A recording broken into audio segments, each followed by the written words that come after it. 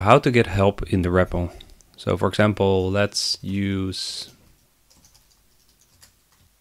date, today, and put that in a variable. I can use type to look at what the type is of the variable. I can use dir to see what I can call on this object.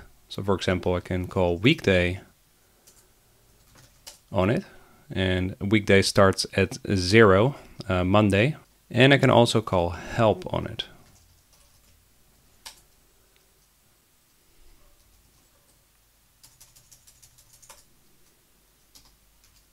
And I can use inspect to look at the source code.